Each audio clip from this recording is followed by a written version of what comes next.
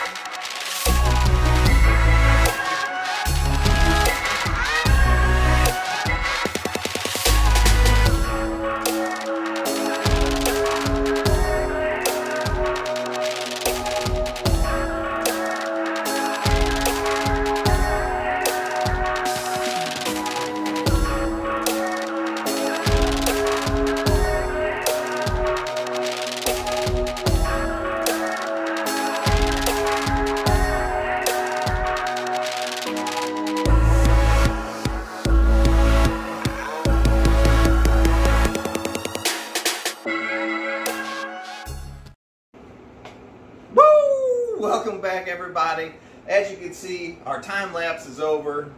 Uh, we've got our 50-40 rack put together except for the very top row. We had a little bit of a clearance issue with uh, the ceiling in here, so we had to keep it off. And without the top rack on, we cleared it by about a quarter of an inch. So now we're gonna put our top rack back on, which we'll probably have to move it out for a second. So it will clear this until it drops on, then we can push it back in place. Uh, the last, we've got our heating pads installed on the bottom of each rack. We have everything wired. As you can see, we're gonna do a little cleanup on that. And then uh, we're gonna install our thermostat and get it set up and running so we can start moving some of the snakes out of these individual cases that we have over here to the left. You might be able to see one of these right down here by me. And we're gonna be able to start condensing them all into the 50-40 racks. So we're gonna get this top rack on here and it'll be all set up. I'll show you a picture of it when we're done. But thanks for watching, everybody. I appreciate it. Remember to like, comment, subscribe. I'll see you next time. All right, guys, so top rack's installed. All of our uh, racks are put together, 100% ready to go. All we gotta do now is install the uh, thermostat. But as you can see, it fits in there perfectly. There's enough room between the tent and uh, that tent is for nothing. Pay no attention to that. That's a different channel of mine.